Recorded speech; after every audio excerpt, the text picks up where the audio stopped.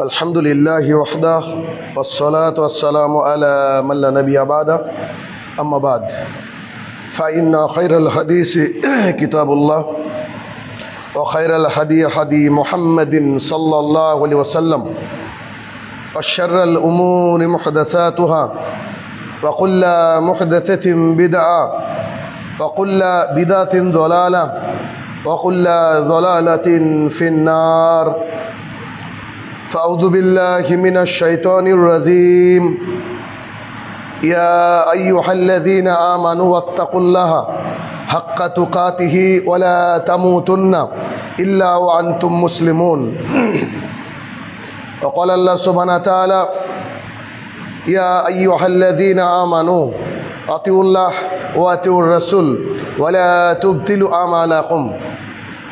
عن أبي هريرة رضي الله تعالى عنه قال قال رسول الله صلى الله عليه وسلم كل أمتي يدخلون الجنة إلا من آبى كلا يا رسول الله من آبى قال من أطعني دخل الجنة ومن أساءني فقد آبى عن عائشة رضي الله تعالى عنها قالت قال رسول الله صلى الله عليه وسلم من عمل عملا ليس عليه أمرنا ফাহুয়ারাদ্দুন সম্মানিত উপস্থিতি, সর্বপ্রথম আল্লাহ সুবানা তালার বারগাই শুক্রিয়া জ্ঞাপন করব।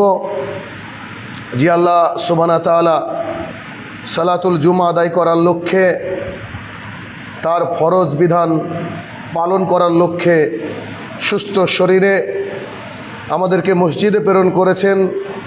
যে আল্লাহ সোবানা তালা বিচার দিবসের একক এবং সর্বক্ষমতার অধিকারী যে আল্লাহ সোবানা তালা আমাদের রুজির দাতা, সে রব্বুল ইজ্জাতের বারগাহে শুক্র জ্ঞাপনার্থে আমরা বলি আলহামদুলিল্লাহ।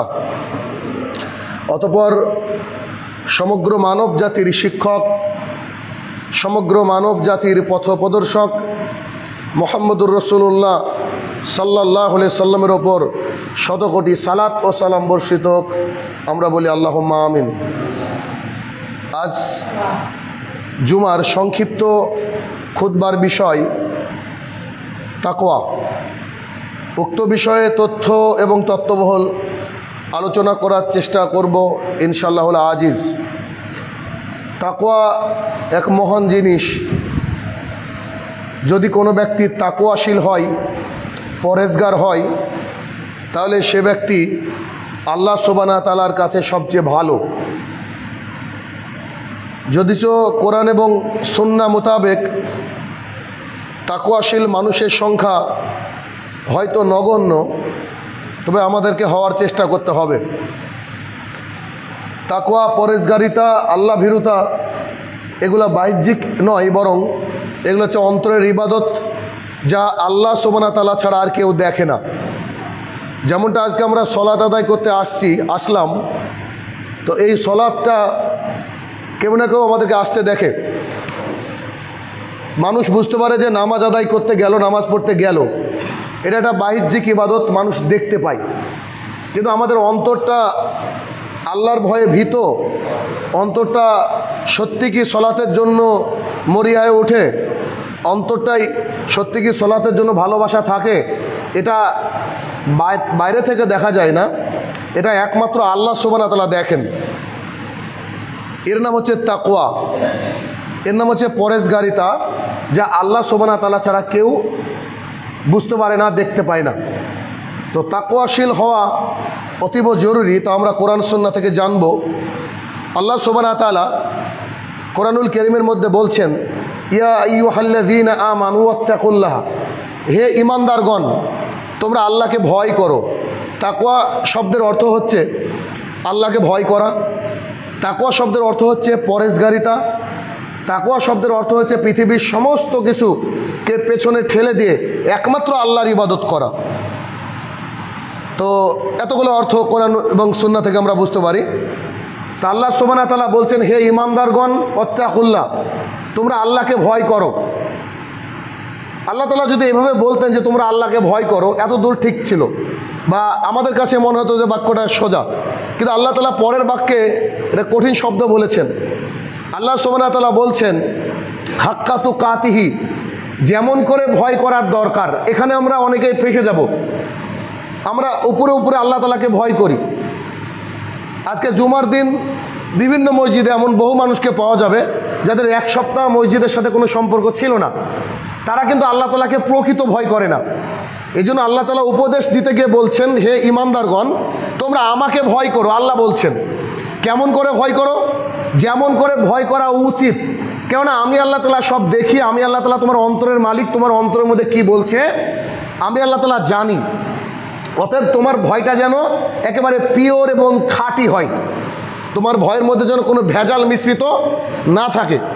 আপনি যতই বলেন না কেন, যারা শুধুমাত্র জুমাতে নামাজ পড়তে আসে তারা প্রকৃত আল্লাহকে ভয় করে না। আপনি যতই বলেন না কেন, যারা শুধুমাত্র লোক দেখানোর জন্য দান করে, যে আমি দান করলে পাঁচটা মানুষ বলবে, লোকটা তো দানবীর, তারা প্রকৃত আল্লাহকে ভয় করে না। তাকর ব্যাপারটা অন্তরে থাকে, পরে হাদিসে আসছি আমি। তো অত আয়াতে আল্লাহ সুবাহতাল্লাহ বলছেন যে, তোমরা আমাকে ভয় করো, ভয় করার মতো ভয় করো। মানে ভয় করতে গিয়ে নাটক দেখিও না। আমি আল্লাহ তালা সব বুঝি। ভয় করতে হলে প্রকৃত আল্লাহকে ভয় করতে হবে। ওলা তেমন না খবরদার তোমরা মৃত্যুবরণ করো না। ইল্লা ওয়ান্তুম মুসলিমুন, মুসলমান না হয়ে। আশ্চর্য এক আয়াত। আল্লাহ তালা শুরুতে যদি বলতেন, ইয়া ইউহান নাস, হে মানব সকল, তোমরা মুসলমান না হয়ে মরো না। তা আল্লাহ বলছেন, ইয়া দিনা আমানু, হে ইমানদারগণ তোমরা মুসলমান না হয়ে মরো না। আশ্চর্য কিনা? আল্লাহ ডাকছেন ইমানদারকে আবার ইমানদারকে বলছে, তোমরা মুসলমান না হয়ে মরো না। তার মানে ইমান এক জিনিস আর মুসলমান এক জিনিস। আশাহাদু ইলাহা ইল্লাল্লাহ আব্দুহু রসুলহু। এই ব্যক্তি ইমানদার এবারে কে মুসলমান হতে গেলে সমস্ত ক্রাইটেরিয়াকে মেনটেন করতে হবে সলাত আদায় করতে হবে যথাসময়, সিয়াম পালন করতে হবে, তথা রোজা রাখতে হবে, দান সাদগা যা আছে করতে হবে, হজ পালন করতে হবে, অর্থ থাকলে জাকাত দিতে হবে, আর ঠিকঠাক যদি আমাদের নিসাব পরিমাণ অর্থ থাকে ওসর দান করতে হবে যদি আল্লাহ তালার নির্দেশিত পথ অনুযায়ী আমাদের ওসরের নিসাব হয়। তাহলে খালি লাইলাহিল্লাহ বলাই যথেষ্ট না। তাহলে লাইলাল্লাহ বলার পরে মুসলমান হতে হবে। এবং কেমন মুসলমান? আল্লাহ বলছে, মুসলমান না হয়ে মরো না। মানে খাঁটি মুসলমান না হয়ে মরো না। অত আয়াতে আমরা বুঝতে পারলাম যে আল্লাহ তালা আমাদেরকে বলছে যে, তোমরা হে ইমানদারগণ, তোমরা ইমানদার, যারা তোমরা ইমানদার, তারা শোনো, তোমরা আমাকে ভয় করো। ভয় করার মতো করে ভয় করো। আল্লাহকে ভয় করতেন সাহাবাই কেরাম। আল্লাহকে ভয় করতেন আইমাই মুস্তাহিদিন আল্লাহকে ভয় করেন তাকুয়াশীল পরেশগার বান্দারা এখনও কারণ আল্লাহ তালার ভয়ে কাঁদে এমন মানুষ এখনও পৃথিবীতে আছে। আল্লাহ তালার ভয়ে কাঁদতো এমন মানুষ বহু বিগত হয়ে গেছে। সাহাবাই কেরামরা বেশিরভাগই আল্লাহ তালার ভয়ে কাঁদতো। কেননা আল্লাহ তালা হচ্ছে এমন এক সত্তা যিনি জুলুমকে নিজের উপরে হারাম করে নিয়েছেন। আল্লাহ তালা যদি কাউকে খালি বলেন যে তোমার আমি হিসাব নিব, তাহলে সে ব্যক্তি জান্নাতে যাবে বলে। আমাদের হিসাবে ধরে না। কেননা আমরা কি করে হিসাব দিতে পারব? আল্লাহ তালা বলেছে, জমিনের উপরে অহংকার বশত চলো না। জমিনের উপরে পা যেন জোরে না পড়ে, সেভাবে চলো না। আল্লাহ তালা বলছে, তোমাদের কথা যেন নবীর কথার উপরে না হয়, অর্থাৎ তোমাদের আওয়াজ যেন উঁচু না হয়। আল্লাহ তালা বলছে, তুমি তোমার মা বাবার সাথে উফ শব্দটুকু করো না। উফ মানে বিরক্ত হয়ে গেলাম। এই কি বলছেন আপনি? এরকমও করো না। আল্লাহ তালা বলছে, প্রতিবেশীর সাথে ভালো আচরণ করো। আল্লাহ রসুল সাল্লাম বলছে, তোমার তরকারি যদি না থাকে, তো পানি বেশি দাও, পানি, ঝোল তৈরি করো। ঝোলটা তৈরি করে তোমার প্রতিবেশীকে দাও। এরকম বহু হিসাব একজন মমিনের নেওয়া হবে। আল্লাহ তালা যদি আমাদের কাছে এক সপ্তাহের হিসাব নেয়, আমরা হয়তো দিতে পারব না। এবার যদি পুরো জীবনের হিসাব আল্লাহকে দিতে হয়, অবস্থাটা কি হবে? এই জন্য আল্লাহ তালা বলছে, আমাকে ভয় করো ভয় করার মতো ভয় করো। আপনি নামাজ পড়তে আসবেন, পৃথিবীর কাউকে দেখানোর জন্য না। গোটা গ্রামের মানুষ আপনার বিপরীত চলে যাক। গোটা পৃথিবীর মানুষ আপনার বিপরীত চলে যাক। আপনাকে সলাত আদায় করতে হবে কেন? আল্লাহ তালা বলেছেন তাই। আল্লাহ তালাকে ভয় করে আপনাকে নামাজ পড়তে হবে। আপনি রমাজান মাসে রোজা করবেন কেন? কারণ আল্লাহ তালা বলেছে, প্রকৃত ভয় করতে হবে। রামাজান মাসে দিনে পানাহার যদি কোনো ব্যক্তি করে, বিশেষ ওজোর ছাড়া যদি কেউ রামাজান মাসের রোজা না থাকে রসুল্লাহ সাল্লাহ সাল্লাম বলছেন, আমাকে পাহাড়ের উপরে তোলা হলো, আর পাহাড়ের উপরে উঠে গিয়ে দেখছি বিশাল চিৎকার। আমি বললাম হাই হাই এরা কিসের চিৎকার করছে? তো তাদেরকে দেখলাম, তাদের মানে পা দুটোকে ছাগল, গরু কেটে যেমন করে ওই ঝুলিয়ে রাখা হয়, তেমন করে মানুষকে ঝুলিয়ে রাখা হয়েছে। আর এইগুলাকে চিরে দেওয়া হচ্ছে, রক্ত টপ টপ টপ টপ করে পড়ছে। রসুল্লাহ সাল্লু সাল্লাম ফেরেস্তাকে বললেন, এরা কি অপরাধ করেছে? এভাবে শাস্তি দেওয়া হচ্ছে। তো বলছে যে, এরা আছে রামাজান মাসে রোজা করতো না। হাক্কাতু কাতিহি, ভয় করার মতো ভয় করতে হবে। সামুরাইবনে জুন্দুব রাদি আল্লাহ তালা আনু বলেন রসুল্লাহ সাল্লাহ সাল্লাম বলেছেন, আমাকে জিব্রাইল আর মিকাইল আকাশের দিকে নিয়ে যাচ্ছিল। তো নিয়ে যেতে যেতে অনেক দৃশ্য আমি দেখলাম, হাদিস অনেক লম্বা, ছোট্ট করে বলি। তো রসুল্লাহ সাল্লাহ সাল্লাম বলছেন, এক শ্রেণি মানুষকে দেখলাম, তারা বসে আছে, আর পাশে একজন ব্যক্তি একটা পাথর নিয়ে দাঁড়িয়ে আছে। তো পাথর দিয়ে তার মাথাটাকে একেবারে ছিন্ন ভিন্ন করে দেওয়া হচ্ছে। একটা পাথর মারলে মাথার মগজ এদিক ওদিকে ছিটকে পড়ে যাচ্ছে। আবার ওই পাথরটা নিয়ে আস্তে আস্তে মগজ রেডি হয়ে যাচ্ছে, মাথা রেডি হয়ে যাচ্ছে। আবার মারছে, মোহাম্মদ সাল্লাম বলছে, হাই হাই হাই, মান হাওলাই। আরে, জিব্রাইল ও মিকাইল, এরা কারা? এদেরকে শাস্তি কেন দেওয়া হচ্ছে? তখন তারা দুজনে বলছেন, আল্লাহ রসুল, এরা হচ্ছে তারা যারা ফজরের আজান ফজরের সলাতে উপস্থিত না হয়ে ঘুমিয়ে থাকতো। বলেন, বাঁচার রাস্তা আপনি বলেন। যারা ফজরের নামাজ আদায় না করে ঘুমিয়ে থাকে, তাদের মাথাটাকে ছিন্ন ভিন্ন করে দেওয়া হবে। এটা কিন্তু আপনার কিয়ামতের মাঠের শাস্তি না, এটা কবরের শাস্তি। কবরে এত কঠিন। পৃথিবীর ইতিহাসে এমন একজন সাহাবি, যার নাম হচ্ছে উসমান রাদি আল্লাহ তালা আনহু। দশ জনের একজন জান্নাতিদের মোটামুটি টপ অফ দ্য লিস্টে আছেন।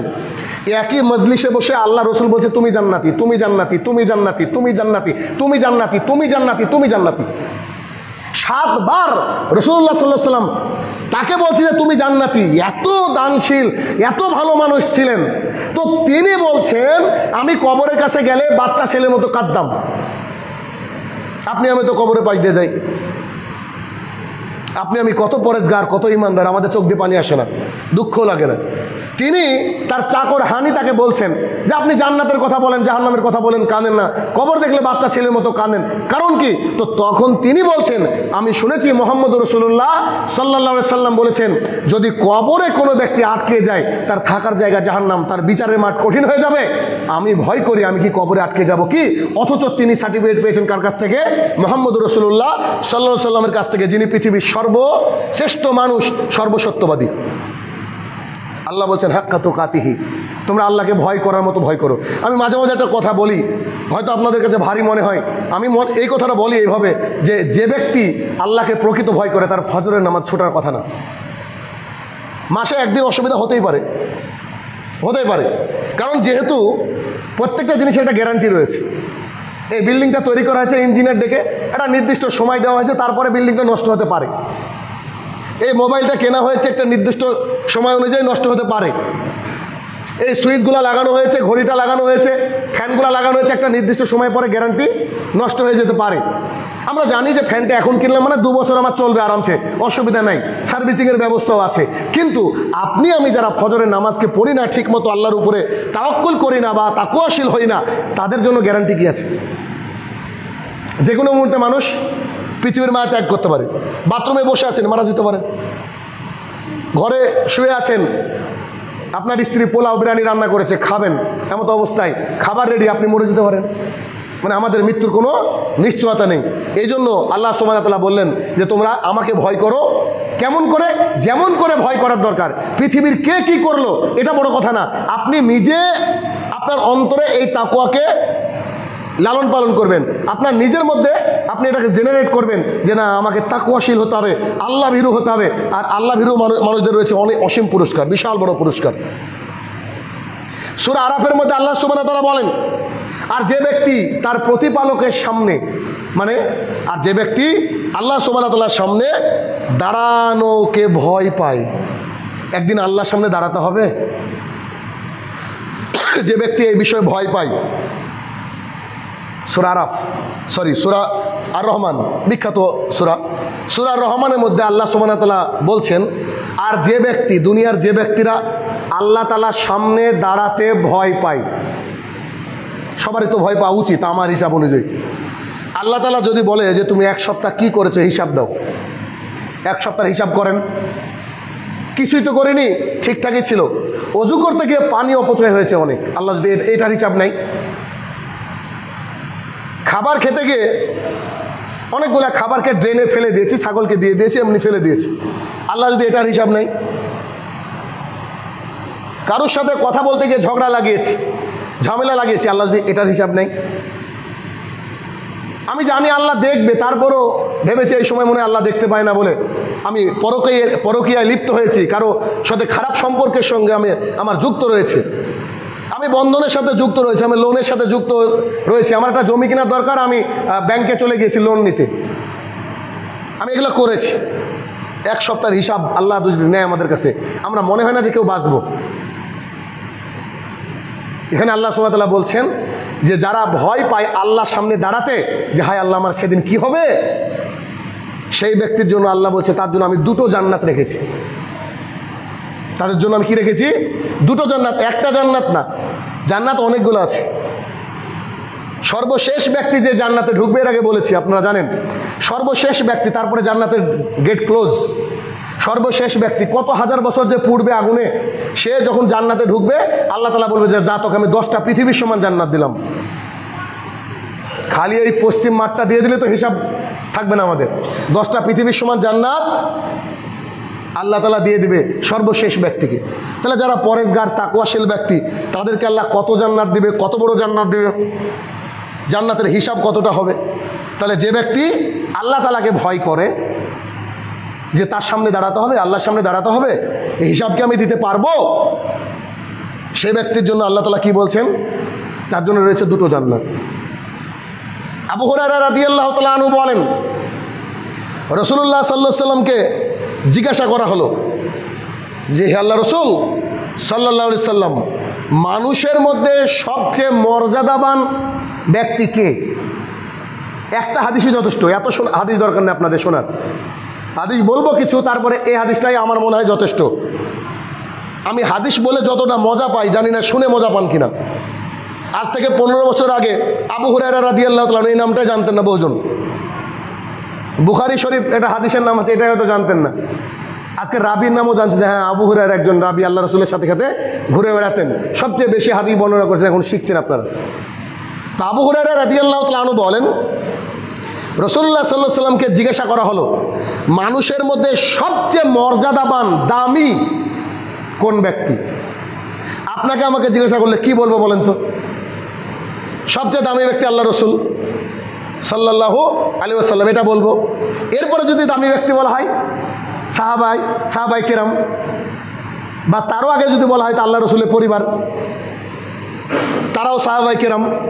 তারপরে যদি বলি তাবেই তারপরে যদি বলি তাবে তাবেইন, তারপরে যদি বলি যে বড় বড় ইমাম আল্লাহ নাসিদুল আলবানী রহমতুল্লাহ আলাই, এরকম বিখ্যাত বিখ্যাত আলেম, যদি এভাবে বলতে শুরু করি তাহলে আমরা অনেক হয়ে যাবে। কিন্তু হাদিসের মধ্যে এমন একটা বিষয়, রসুল্লাহ সাল্লাহ সাল্লাম তুলে ধরলেন, আশ্চর্য বিষয়, আপনি সরকাপড়ায় বসেও পৃথিবীর সবচেয়ে ভালো মানুষ হতে পারেন। আপনি এখানে বসেও সবচেয়ে ভালো মানুষ হতে পারেন। আমাদের কাছে সংজ্ঞা আলাদা হতে পারে।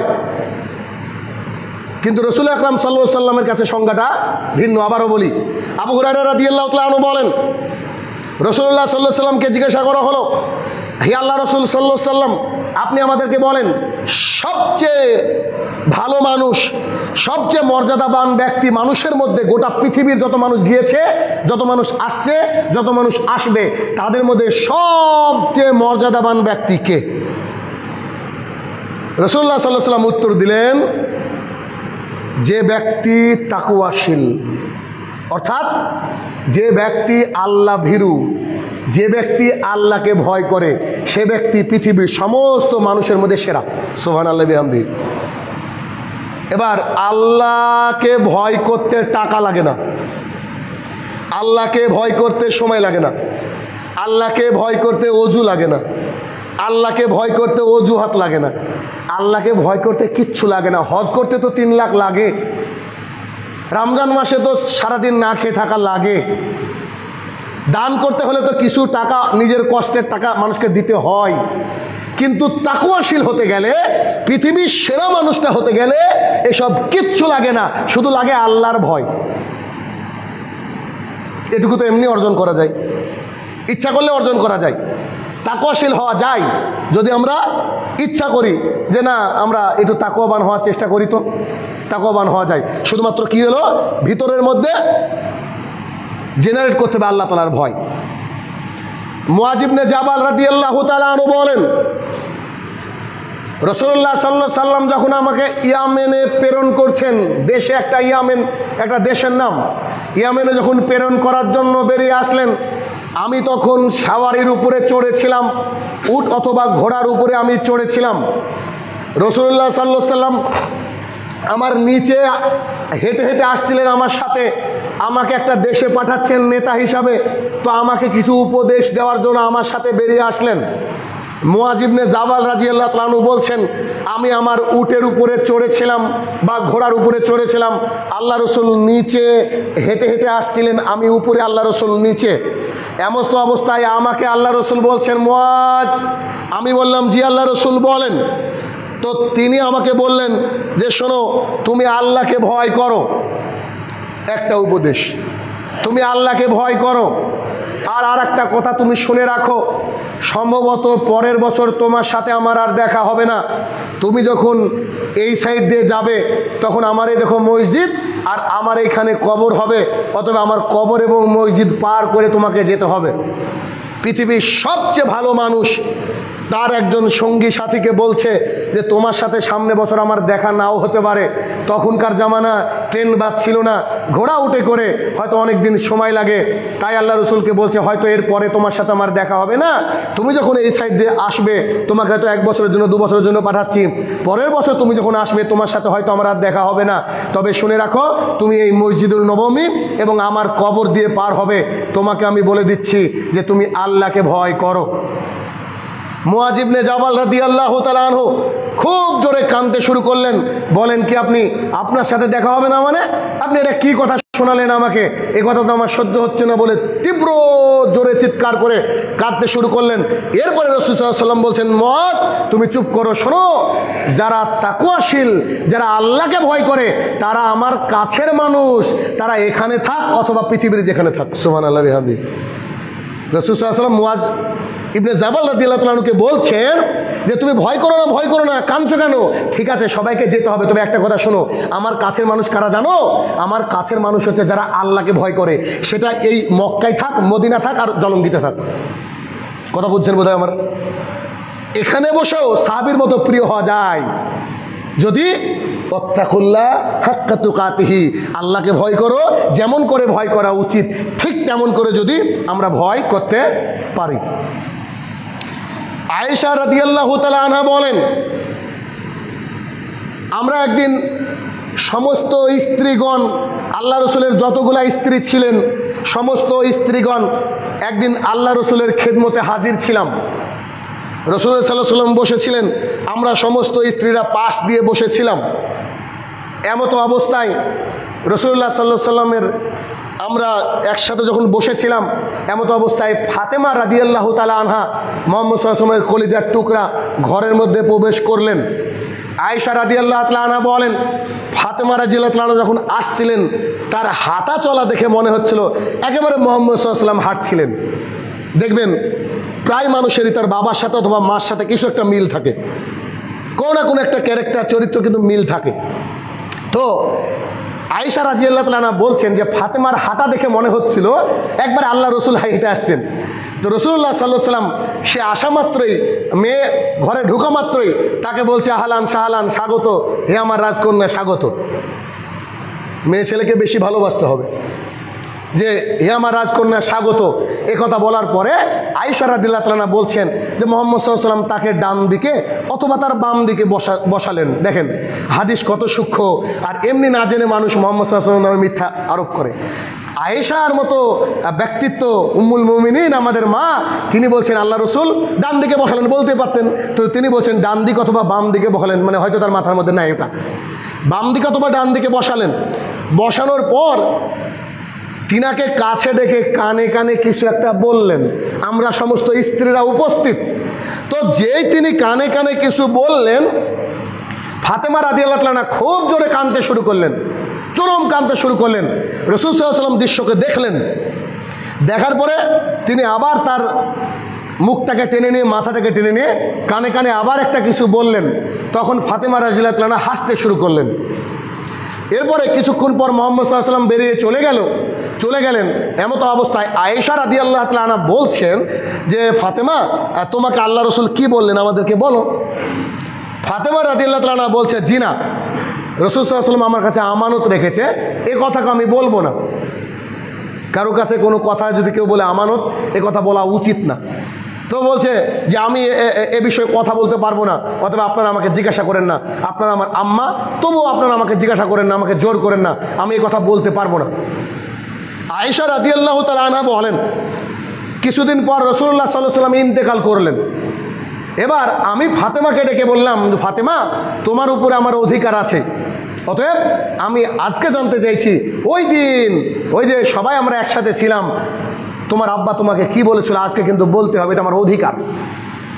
ফাতেমা রাদি আল্লাহ তালা বললেন, জি, আজকে বলতে আমার অসুবিধা নেই। কারণ যিনি আমাকে আমানত দিয়েছিলেন, তিনি চলে গিয়েছেন। তখন ফাতেমা রাদিল্লাহ তালা বলছেন যে আমাকে আমার আব্বা অর্থাৎ মোহাম্মদ সাল্লাম কানের মানে মানে আমার মুখটাকে, আমার কানটাকে তার মুখের কাছে টেনে নিয়ে বলছেন যে, আম্মা বা আমার মেয়ে, শোনো, জিব্রাইল প্রতি বছর আমার কাছে একবার আসে। বছরে জিব্রাইল আমার কাছে একবার কোরআন শোনায়। মানে পুরো কোরআনটা জিব্রাইল আমার কাছে একবার শোনায়। এবার কিন্তু জিব্রাইল আমার কাছে দুবার এসেছে। আমি আশা করছি বোধ আমি মারা যাব। এবার কোনো মেয়ে তার বাবার মৃত্যু সংবাদ কি শুনতে পারে? হয়তো কোনো মেয়ে শুনতে পারবে না। তো বলছে যে প্রত্যেক বছর জিব্রাইল একবার আসে, এবার আমার কাছে দুবার এসছে। আমার মনে হয় আমি আর বাঁচবো না বেশি দিন আল্লাহর কাছে হয়তো চলে যেতে হবে। এই কথা শুনে আমি খুব কানতে শুরু করেছিলাম। চরম কানতে শুরু করেছিলাম। এরপরে বলল যে দ্বিতীয়বার কি বলেছিল? তা আমার খুব কান্না দেখে আব্বার হয়তো কষ্ট হয়েছে, খারাপ লেগেছে। তখন আমাকে ডেকে বলছে যে, আম্মা যান, তুমি টেনশন করো না। তুমি হচ্ছে সমস্ত মমিনদের অথবা জান্নাতি নারীদের তুমি হচ্ছে লিডার সর্দারিনী। আর আমার পরে তুমি অগ্রগামী। আমার পরে পরে তুমি মারা যাবা। আমার কাছে তোমার সাক্ষাৎ হবে। তুমি জান্নাতের যত মহিলা থাকবে, সবারই লিডার তখন আমি হাসতে শুরু করেছিলাম। অতএব মা হাদিস শেষ হয়নি, এইখানে আসল কথা। আজকে খুদবার মেন পয়েন্ট অতএব মা, তুমি আল্লাহ তালাকে ভয় করো। দেখেন অতএব তুমি আল্লাহ তালাকে ভয় করো। ফাতেমা রাদিয়াল্লাহ তালা আল্লাহ রসুলামের নিজের কন্যা, তাকে তিনি বলছেন যে অত্তাকুল্লাহ তুমি আল্লাহকে ভয় করো।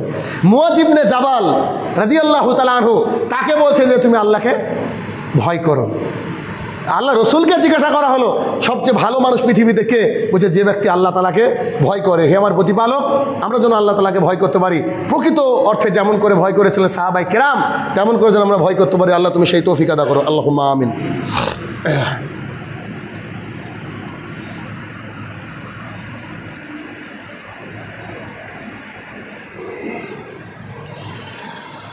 আলহামদুলিল্লাহ ওয়াহদা ওসলাত ওসালাম আলা নবী আবাদা আম্মাবাদ আলোচনা হচ্ছিল আল্লাহ তালাকে ভয় বা তাকোয়া আবু হুরারা রাদিয়াল্লাহ তালু বলেন রসুল্লাহ সাল্লা সাল্লাম বলেছেন, একজন মুসলমান অপর মুসলমানের ভাই, অতএব তোমরা তাকে কষ্ট দিও না, তোমরা তাকে তার উপরে জুলুম করো না, তোমরা তার মালকে অবৈধভাবে ভক্ষণ করো না। এরকম কিছু একটা বাক্য ছিল, হয়তো ভুল হতে পারে। এরপরে শেষ বাক্যে এসে আল্লাহ রসুল্লাহাম বলছে, আর তাকুয়া ফি হা হে না। অর্থাৎ তাকুয়া থাকে এখানে তাকুয়া থাকে এখানে তাকুয়া থাকে এখানে। এভাবে তিনি আঙুল দিয়ে নিজের বুকের দিকে তাকিয়ে বলছেন, বুকের দিকে দেখে বলছেন যে তাকুয়া থাকে অন্তরে তাকুয়া থাকে অন্তরে তাকুয়া থাকে অন্তরে। অতএব একজন মুসলমান তোমার ভাই, তুমি তাকে কষ্ট দিও না, তাকে তুমি, তার উপরে তুমি জুলুম করো না। তার তার সাথে তুমি খারাপ আচরণ করো না। তার মানে তাকুয়া কোথায় থাকে? তাকুয়া থাকে মানুষের অন্তরে। ইরবাজ ইবনে সারিয়া রাদিয়াল্লাহ তালু বলেন রসুল্লাহ সাল্লাহ সাল্লাম একদিন আমাদের মাঝে খুতবা দিলেন। এমন খুতবা দিলেন যে আমাদের চোখগুলা চোখ থেকে পানি ঝরতে লাগল। আমরা কাঁদতে শুরু করলাম। আমাদের মনে হচ্ছিল যে বোধহয় তিনি এটাই শেষ খুদ্া আমরা তাকে আর পাবো না। তিনি আমাদের কাছ থেকে খুব তাড়াতাড়ি বিদায় নেবেন। আমাদের অন্তরগুলা সব ভীত সন্ত্রস্ত হয়ে গেল। কান্নায় আমরা ভেঙে পড়লাম। এমতো অবস্থায় একজন উঠে বলছেন, আল্লাহ রসুল কি, আল্লাহ রসুল? সাল্লা সাল্লাম আপনার আজকের খুদ্া শুনে আমরা খুব ব্যথিত। আপনার এই আবেগ মাখা কথাগুলো শুনে মনে হচ্ছিল যে তা আপনাকে বোধহয় আমরা আর বেশি দিন পাবো না। অতএব আপনি আমাদেরকে আরও উপদেশ দেন। আপনাকে তো নাও পেতে পারি। আপনি তো আল্লাহর কাছে চলে যেতে পারেন। এক কাজ করেন, আপনি আমাদেরকে আরও বেশি বেশি উপদেশ দেন। আরও উপদেশ দেন। তখন রসুল্লাহ সাল্লাহ সাল্লাম বললেন যে, শোনো, তোমরা আল্লাহকে ভয় করো। এক নম্বর উপদেশ। তোমরা কি করো? যে আল্লাহকে ভয় করো। তোমরা তোমাদের নেতার আনুগত্য করো। সিপিএম কংগ্রেস নয়। তোমাদের যে ইমাম, তোমাদের যে মুসলিম লিডার আর মুসলিম লিডার মানে আসাউদ্দিন ওয়েসি, ভাবেন না আবার। আপনার, আপনাকে এখন যদি মোহাম্মদ সাল্লাম তো মোহাম্মদ সাল্লাম আমাদের লিডার, ব্যাস। আপনি যার আন্ডারে আছেন, সে আপনার লিডার। আপনার যে ইমাম, সে যদি সঠিক হয়, সে আপনার লিডার। রসুল্লাহ সাল্লাহ সাল্লাম বলছে, তোমরা তোমাদের ইমামের আনুগত্য করো। ওই ইমাম যদি হাবসি গোলাম হয়, ঠোঁটটা মোটা হয়, দেখতে খারাপ হয়, তারপরে তার আনুগত্য করো। এবং আমি মারা যাওয়ার পরপরই খুব তাড়াতাড়ি দেখবা একতলাপ দেখতে পাবা একতলাপ কেমন? আমি যা করিনি, আমি যা বলিনি সমাজে দেখতে পাবা। আমি কোনোদিন আমার জন্ম মৃত্যু দিবস পালন করিনি। বারোই রবিলাল রাস্তা রাস্তা ঢোল পিটে বেড়ায়নি ইয়ানবী সালাম আলাইকা করে বেড়ায়নি তোমরা দেখতে পাবা। ফরজ নামাজের পরে সম্মিলিত মনোজাত আমি করিনি, তোমরা দেখতে পাবা। এই যে চেহলাম চলছে। এগুলো আমি করিনি। ফতে ফতেহা, ইয়াজদাহম নাকি? এগুলো আমি করিনি। মিলাদ আমি করিনি। বাড়িতে বরকতের আশায় মিলাদ আমি দিইনি। আমি এগুলো করিনি। মানুষকে যখন কবরে নিয়ে যাওয়া হচ্ছে, চল্লিশ কদম আমি হাঁটিনি। আমি জানাজার জন্য সুন্দর একটা দোয়া শিখিয়ে দিয়েছি। জানাজার পরে বাংলায় দোয়ার কথা আমি বলিনি। আমি বলেছি, মানুষের মাতৃভাষায় খুতবা হবে, যাতে করে মানুষ বুঝতে পারে। আরবি ভাষা আমি আওড়াতে বলিনি। রসুল সাল্লাম যা বলেননি রসুল সাল্লাম বলছে, আমি মারা যাওয়ার পরপরই দেখবা এইগুলা তোমাদের ফেতনা। আছে না না এবার আপনি বুঝেন। এই ফেতনাগুলা দেখবা, তখন তোমরা কি করবা? আমাকে এবং আমার সুপথপ্রাপ্ত সাহাবাই কেরামের সন্নাকে অনুসরণ করবা বি নোয়াজেস মারি দাঁত দিয়ে চেপে ধরবা, দরকার হলে বনে চলে যাবা। আর শুনে রাখো, ধর্মের মধ্যে প্রত্যেকটা কাজই হচ্ছে বিদাত, নতুন কাজ। যেগুলো নতুন নতুন আবিষ্কার হবে, সেগুলো হচ্ছে বিদাত। আর প্রত্যেকটা বিদাত হচ্ছে গুমরাই জাহান নামে যাওয়ার রাস্তা। রসুসাল্লাম বললেন, বলেন এবার, ইরবাজ ইবনে সারিয়া রাদিল্লা তালান থেকে বর্ণিত লম্বা হাদিস আপনাকে আমি শোনানোর চেষ্টা করলাম। তাহলে যদি এটা হয়, তাহলে বুঝতে পারলেন, শুরুতে আল্লাহ রসুল বলছেন, আল্লাহকে কি করো? ভয় করো। আর ভয় করার জায়গাটা কোনটা? এই জায়গাটা। এই জায়গাটা হচ্ছে ভয় করার জায়গা। নুমান ইবনে বাসির রাদিয়াল্লাহ তালু বলেন রসুল্লাহ সাল্লাহ সাল্লাম বলেছেন, মানুষের শরীরের মধ্যে একটা গোস্তের টুকরো থাকে, মানুষের দেহের মধ্যে একটা গোস্তের টুকরো থাকে, গোস্তের পিণ্ড থাকে। এটা যদি সুস্থ থাকে, মানুষ সুস্থ থাকে, এটা যদি অসুস্থ হয়ে যায়, মানুষ অসুস্থ হয়ে যায়। আর এটা কি জানো? একথা বলার পরে রসুল্লাহ সাল্লাম বলছে, এটা হচ্ছে আমাদের অন্তর। এটা হচ্ছে আমাদের অন্তর। অতএব আমাদের ভেতরে যে অন্তর রয়েছে, এই অন্তরটা যদি খারাপ হয়, আমরা খারাপ হয়ে যাই। আর এই অন্তরটা যদি ভালো থাকে, আমরা মানুষের সাথে কি করি? ভালো আচরণ করি। তাহলে এই আরও অনেক হাদিস ছিল। আর দু একটা হাদিস আমি বলি। আবু উমামা বাহিনী রাদিয়াল্লাহ তালু বলেন, আমি রসুল্লাহ সাল্লাহ সাল্লামকে বিদায় বিদায় হজের খুদ্বাই শেষ খুদ্া আল্লাহ রসুলের বিদায় হজ, তারপরে তিনি মারা গিয়েছিলেন। বিদায় হজের খুদ্বায় আমি বলতে শুনেছিলাম যে, হে মুসলমানরা, শোনো, তোমরা আল্লাহকে ভয় করো। আজকেও খুদ্বায় হলে ওখানে আল্লাহকে ভয় করে কথা বলা হয় হজে। তোমরা আল্লাহকে ভয় করো। তোমরা পাঁচ ওয়াক সালাত আদায় করো। রামাদান মাসে তোমরা সিয়াম পালন করো। আল্লাহকে ভয় করো। পাঁচ ওয়াক সালাত আদায় করো। রামাদান মাসে কি করো? সিয়াম পালন করো। সম্পদের নিসাব হয়ে গেলে তোমরা জাকাত প্রদান করো। এবং আল্লাহ যদি তোমাদের ক্ষমতা রাখে, তো তোমরা বাইতুল্লাহ তোয়াপ করো, হজ করো এবং আল্লাহর উপরে আনুগত্যশীল হয়ে যাও, তাহলে তোমরা তোমাদের প্রতিপালকের জান্নাতে প্রবেশ করতে পারবে। অর্থাৎ এগুলো যদি আমরা মেনে চলি, তাহলে আমরা আমাদের কি করব? প্রতিপালকের জান্নাতে প্রবেশ করতে পারব। অতএব বারবার বারবার করে আল্লাহ রসুল সাল্লাম আমাদেরকে আল্লাহকে ভয় করার জন্য উপদেশ দেওয়া, দেওয়ার চেষ্টা করেছেন, বলেছেন যে যাই করো না কেন, আল্লাহকে ভয় করো। আপনি হিসাব করে দেখেন, আল্লাহকে যদি মানুষ খালি ভয় করে, আর কিচ্ছু লাগে না।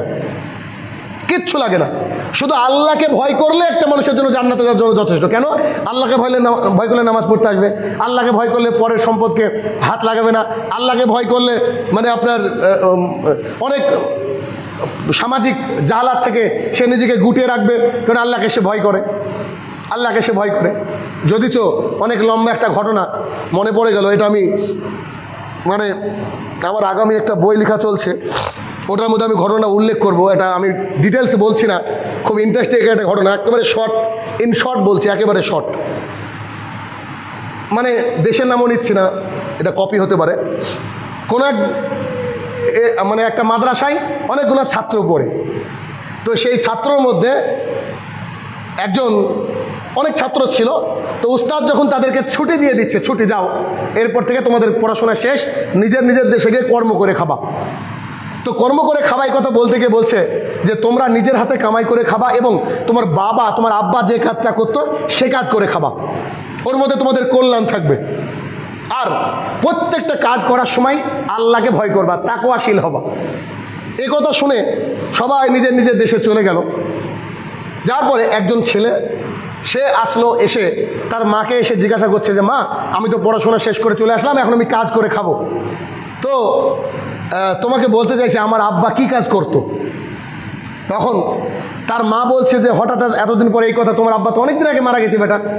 তোমার জানার দরকার নাই, তোমার যেটা ভালো হয় তোমার তুমি সেটা করো। তো বলছে যে, না, তোমাকে বলতাম আমার আব্বা কি করতো? তো তার মা তাকে বলে না যে কি করতো। তো বলছে, না, তোমাকে বলতে হবে। তো বলছে যে, বেটা, তোমার আব্বা এমন একটা কাজ করতো, যেটা আমার জন্য বলা খুব কষ্টের। তাও যখন তুমি বারবার করে বলছো, উপায় নাই। আর তুমি শুনতে বা চাইছো কেন, একটু বলো, তারপরে বলছি। তো বলছে, আমার উস্তাদ বলেছে যে, বাবার পেশাকে গ্রহণ করতে হবে। এবং তার মধ্যে যেন আমি আল্লাহ ভীরুতা রাখি। তার মা বলছে, তোমার বাবা চুরি করতো।